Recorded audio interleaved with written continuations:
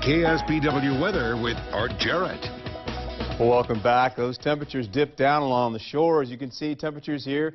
Santa Cruz lost about 4 degrees from yesterday, 75 out in Watsonville. Up into the mountains, we still held on to some of that temperature as uh, we only go up a little bit up above that fog layer, and the temperatures were still pretty nice all the way through. 63 in Monterey, very cool temperatures on the peninsula. You get up to Marina, warmed up a little bit, 67, 66 seaside, 76 over in Carmel Valley, 69 in Big Sur today. So mild and wonderful temperatures for some folks. Going into the valleys, we popped into 80s, you get into Greenfield, 81 in King City. Pinnacles was around 82 or so, 78 Soledad, 73 in Salinas today. Overnight temperatures were pretty cold last night.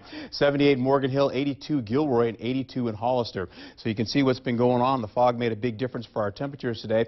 High pressure is beginning to break down, low clouds along the shores. And as that happens, we're starting to get a northwesterly feel. That's going to happen in later on tonight. And the cool air is going to rush right across Northern California and into the four corners. As that happens, that cold cold plume is just already making its way down as it will go into Texas, northern Texas, and then reach down all the way into central Texas, cooling temperatures down up to about 18 uh, inches of snowfall for most of the northern tier, all the way down to about 10 inches. You get a little bit further towards Idaho, parts of uh, Washington. Back to the west, here we go. We see that low pressure starting to work its way across, weakening the ridge of high pressure. There's the northwesterly winds coming in.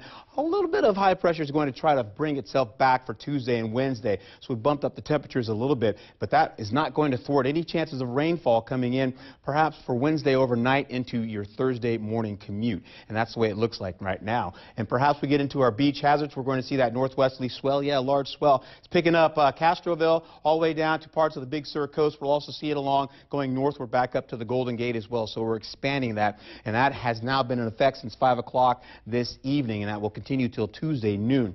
60s, 70s, and possible 80s all the way down the forecast area. 77 Hollister. We're going to see early morning clouds. That fog bank still holding on. 77 in Greenfield, 78 in King City, stretching all the way down into the valley of that fog. 64 in Monterey, 69 in Big Sur, right back up to Santa Cruz. We're going to find ourselves mild temperatures uh, yet again with most overnight temperatures in the 40s.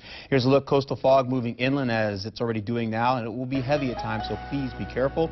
We'll see the overnight temperatures continue on with more clouds moving in by midweek. Rainfall, as I told you, going into the overnight Wednesday into early morning Thursday. 60s and 70s, then we dip it down to possibly even the upper 50s, getting into the mid 70s for everybody, and then that rainfall right there tapering off by the afternoon. Maybe we might pick up about, uh, at least in the mountains, about 0.35 inches of rain. All right, thank you so much.